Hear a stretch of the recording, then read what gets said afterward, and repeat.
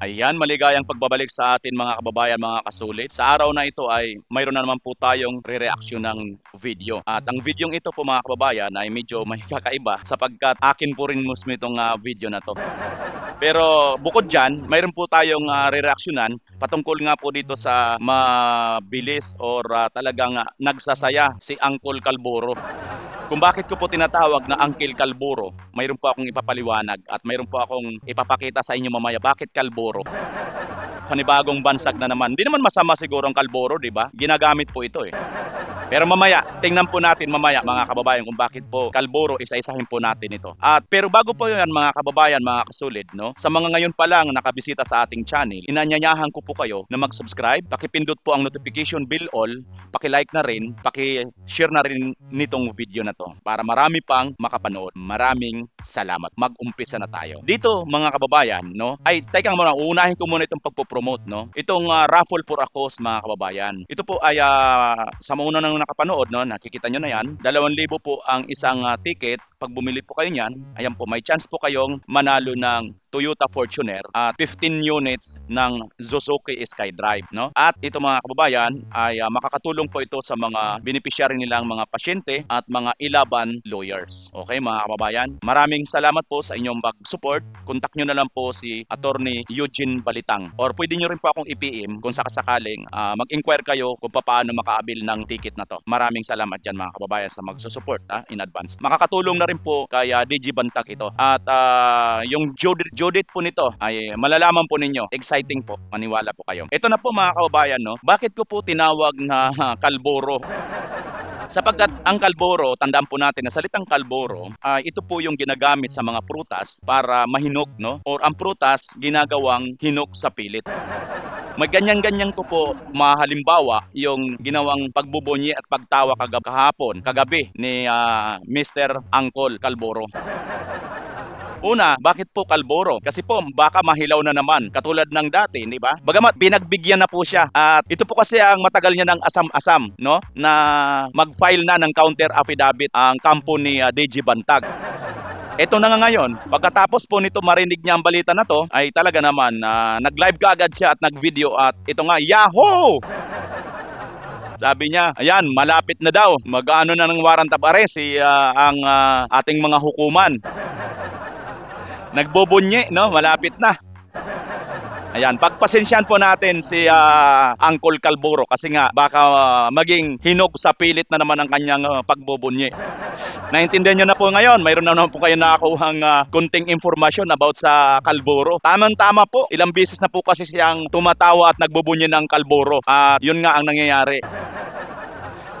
Pero hindi po natin sinasabi para ito para tuyain ang uh, isang taong ito, no? Ginagamitan lang po natin ng term na available naman po at legal term naman po 'yan. Wala naman pong masama diyan, no? Ang uh, kalboro ginagamit po 'yan sa pagpahinog uh, ng mga prutas. Kaya nga lang, kaya yang ginagamit para mahinog sa pilit. Tugmang-tugma po ito doon sa kanyang reaksyon na pagbubunye at pagtatawa ng pilit.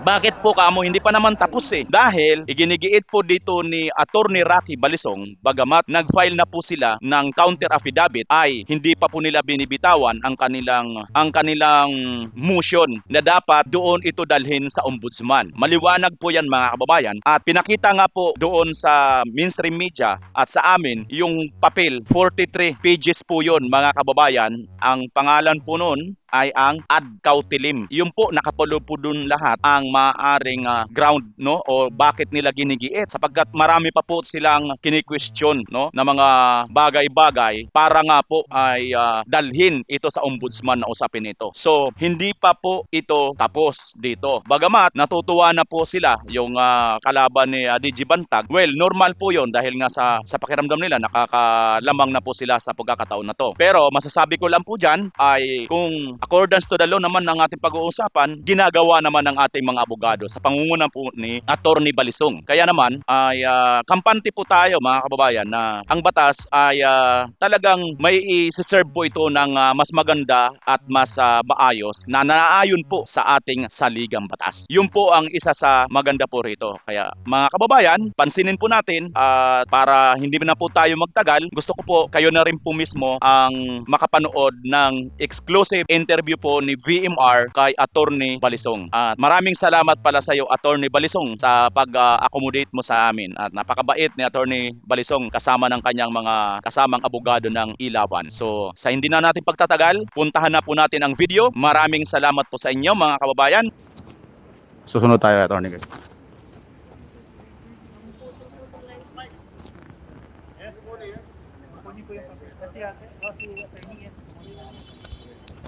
Wait lang guys ah.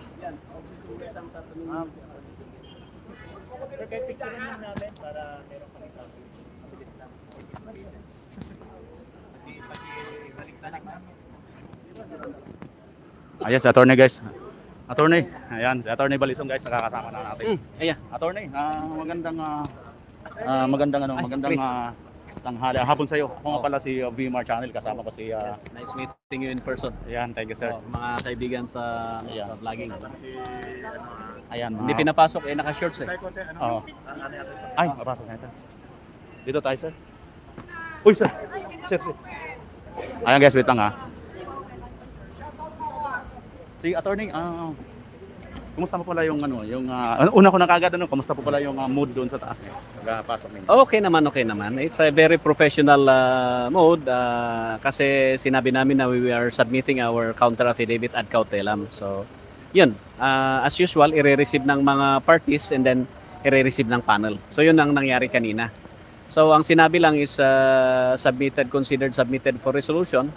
Uh, well, that is part of the process but uh, hindi ibig sabihin nun na ginigive up namin yung question namin on uh, jurisdiction. Pareho pa din. We still pursue with it. So, same pa rin po lang attorney yung ah, ating ah, stand dito ngayon. Pareho pa rin. Ah, ang pag-file natin ng counter affidavit ad cautelam ay hindi ibig sabihin na ina-abandon natin yung question natin on jurisdiction ng panel. Okay. Oo. So, tapos mga kababayan, ito uh, attorney no.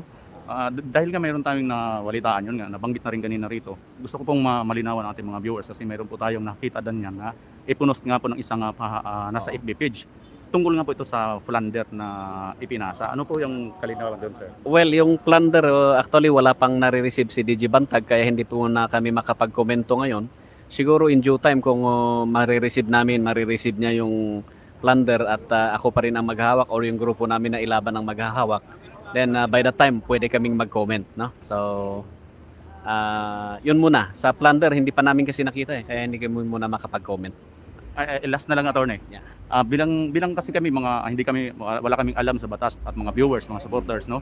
Ah, ito tanong ko lang din, no. Ta- Tanong din ng mga viewers, pwede ba 'yon na hindi pa ninyo nakita at ah, mayroon na kaagad kayong haharapin, wala pa kayong nakikitang uh, papers katulad ng pinail na 'yon.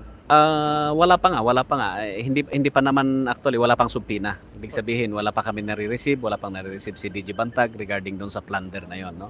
So we will be entitled to receive muna yung mga kung ano yun, mga documents regarding sa plunder. So hantayin muna natin at ah, babasahin natin mabuti at tignan natin kung anong mga nakalagay doon then we are ready to discuss. Ayun. Maraming maraming salamat attorney sa ano mo at uh, pakiregasyon na lang ako kay ano DG Bantag, uh, BMR channel. Thank you, thank you. Pwede pa picture tayo attorney? Okay, sige. Picture muna kami na attorney guys. Tatanggal ako ng ano para naman.